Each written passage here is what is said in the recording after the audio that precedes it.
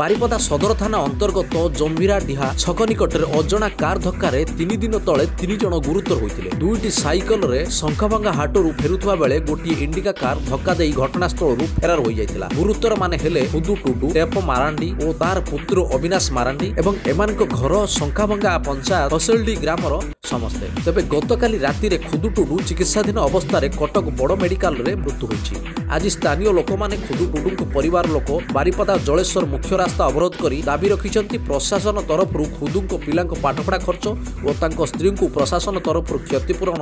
ବାବଦକୁ ଆର୍ଥିକ ସହାୟତା ଯୋଗାଇବା ସହିତ ରାସ୍ତାରେ ସିସିଟିଭି କ୍ୟାମେରା ଲଗାଇବା ପାଇଁ ତେବେ ଘଟଣାସ୍ଥଳରେ ପୋଲିସ ପହଞ୍ଚି ଲୋକମାନଙ୍କୁ ବୁଝାସୁଝା କରୁଥିବାର ଦେଖିବାକୁ ମଧ୍ୟ ମିଳିଛି ମୟୂରଭଞ୍ଜରୁ ସୁବ୍ରତ ପ୍ରଧାନଙ୍କ ରିପୋର୍ଟ କାମିଆବ ଟିଭି